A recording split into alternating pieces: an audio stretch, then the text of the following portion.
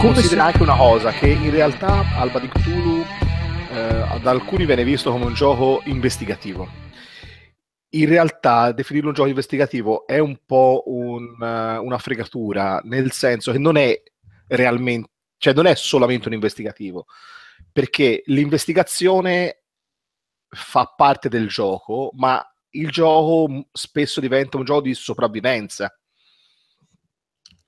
Quindi un survival. Perché, eh, sì, perché te, ok, devi fare l'investigazione per guadagnare soldi, non far chiudere la ditta, eh, eccetera. Però il vero problema non è capire gli indizi, non è solo capire gli indizi, è anche fare quel tragitto che ti porta da un lato della città all'altro eh, dove può succedere di tutto, cioè puoi essere sacrificato a un antico, puoi incappare, puoi, puoi fare un incidente in auto, puoi, cioè, possono succedere davvero tante tante cose. La città è pericolosissima da girare, i personaggi che trovi sono pericolosissimi e quindi è difficile secondo me da definire in un settore classico del gioco di ruolo questo qui. Eh, poi c'è da considerare anche il fatto che eh, secondo me uno dei punti di forza di Alba di Tulu rispetto mm, a chi ha fatto vincere poi il premio del gioco dell'anno l'anno scorso è il fatto che ha tutta una meccanica al suo interno che è quella della costruzione dell'agenzia. Quindi tu hai i tuoi personaggi, ma la sopravvivenza dei singoli personaggi non è molto importante quanto la sopravvivenza dell'agenzia in cui tu crei. Quindi hai tutta una scheda nella quale tu scrivi cosa l'agenzia ha comprato, quali sono gli oggetti che ha, quindi il personaggio è un po' in secondo piano rispetto all'agenzia. Se muore il personaggio, l'agenzia può sopravvivere, ma se muore l'agenzia, tutti i personaggi che ne fanno parte finiscono la loro vita in maniera misera sotto un ponte. Quindi terminano, terminano le loro avventure. Quindi è un gioco di ruolo, ma ha questa parte, se vuoi, da board game, mm-hmm. e in realtà è la parte, secondo me, che lo rende diverso da altri tipi di giochi di investigazione. Mm. Eh, interessante, tra l'altro mi ricorda un gioco vecchio che voleva ricreare la... gli acchiappafantasmi. Bravo, bravo, infatti guarda, l'unica cosa che si avvicina ad Alba di Cthulhu è Ghostbusters. Ah, il quindi... e l'ambientazione, perché in Ghostbusters il punto focale è prendere i fantasmi, Ni è tenere sulla ditta tra l'altro mi sembra anche una metafora della casa editrice di, eh, di giochi di ruolo. è probabile. Cioè, l'importante è mandare avanti la baracca. Esatto, esatto. Eh, voi quando avete fatto, quando avete creato Cinerequie, avete innovato, eh, permettetemi di usare parole grosse, il design dei giochi di ruolo, inserendo i tarocchi al posto del dado da 20, per esempio, ok? Mm. La meccanica di risoluzione. E io mi ricordo all'epoca quando uscì, stai meravigliato per questo cambiamento. Eh, ora mi avete detto, per esempio, con l'alba di Cthulhu, che avete inserito una parte simil board game all'interno di un gioco di ruolo. Io vi chiedo, eh, non avete mai pensato, per esempio, di realizzare un gioco di ruolo uh, come quelli più strani che si vedono in giro, magari senza GM o eh, stravolgendo ancora di più la struttura da gioco di ruolo tradizionale?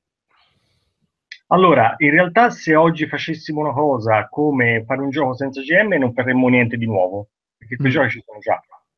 Sì, però voi non l'avete mai fatto. Vi piacerebbe farlo o lo ritenete già fatto e quindi guardate ad altro? Allora, noi pensiamo sempre una cosa, prima di tutto pensiamo alla parte di ambientazione del gioco.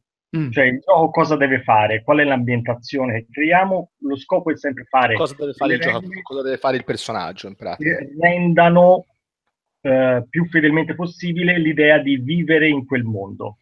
Quindi le regole sono sempre in secondo piano, nel senso che devono essere create appositamente per quello.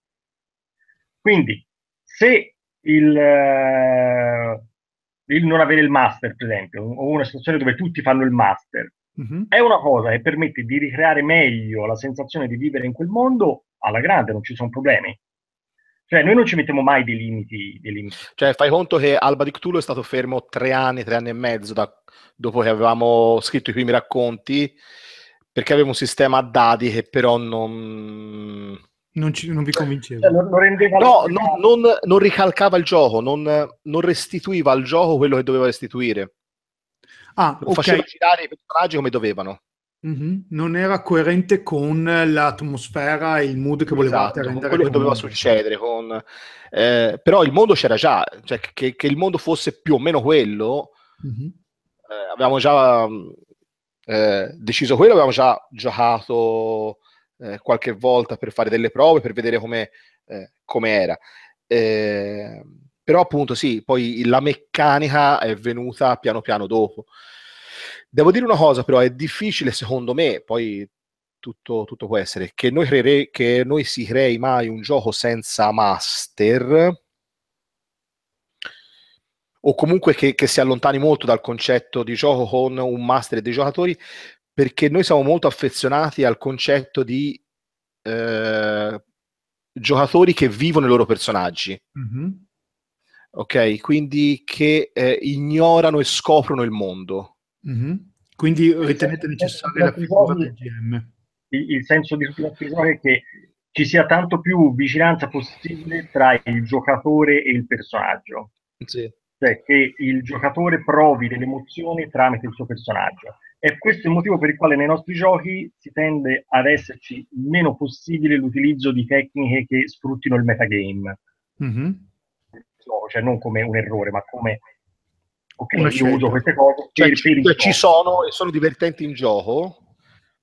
Cioè, ci- ce ne sono alcune, sono divertenti in gioco, come in Cinerepe c'è il tutore, tu hai una carta da parte e puoi usare da un momento all'altro, no? Vero. È divertente in gioco, è un jolly, è, è giocattoloso, è ganzo, però è anche un momento in cui tu esci dalla visione di quello che stai immaginando, torni sul tavolo, analizzi una carta, cioè esci dal mondo fantastico, rientri sul tavolo, rientri sulle meccaniche e poi dopo ci rientri, però sei uscito da quel mondo, non sei rimasto su quel mondo lì, capito? Sì.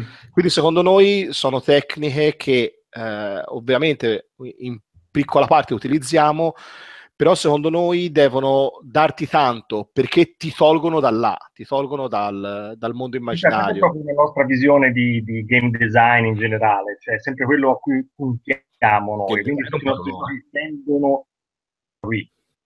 Per esempio, ci sono giochi che utilizzano un sacco di queste tecniche che magari sono divertenti, tipo eh, il gioco horror che utilizza il, il Jenga per dare il senso di, Ah, della... Dread. Mhm, Dread, sì. Il problema è che quel gioco è un gioco che noi non avremmo mai scritto, perché Mhm. utilizza un sistema esterno, uno sorta di sottogioco, che fa benissimo la tensione per il gioco, tra virgolette, ma ti toglie da quella che è la visione che noi abbiamo di essere costantemente nel personaggio e immaginare sempre con gli occhi del personaggio. Quindi ci sono, secondo me, delle, delle tecniche di game design che sono particolari per un tipo di autore specifico, cioè per quello che l'autore vuole di un tipo di gioco. Per questo io dico sempre che tutte queste tecniche che noi conosciamo di game design e cose che puoi fare non sono per tutti gli autori. Cioè dipende che tipo di autore sei e dipende che cosa vuoi ottenere da, dal tuo gioco. Per esempio, noi una cosa che siamo riusciti a ottenere, di cui siamo abbastanza orgogliosi, perché è una cosa su cui abbiamo lavorato mentalmente per tanti tanti anni, è il regolamento di ehm, Paese dei Balocchi, Mhm.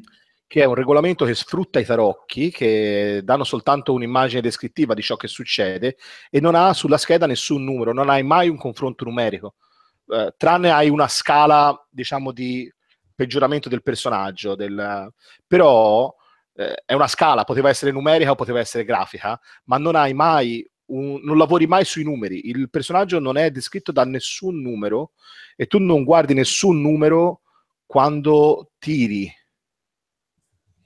Mm. Hai soltanto eh, una descrizione di quello che avviene. In base a quanto sei bravo, eh, estrai un numero maggiore, minore di carte, hai delle eh, leggi, delle descrizioni diverse dei tarocchi, eh, per cui hai delle, mh, delle sfumature diverse di quello che succede.